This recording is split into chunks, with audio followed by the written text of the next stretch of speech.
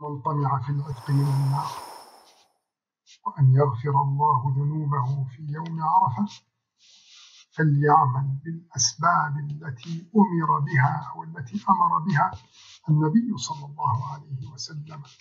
وهذه الأسباب هي التي يرجى بها إذا عملها المسلم أن أن يعتق الله رقبته من النار وأن يغفر له ذنبه.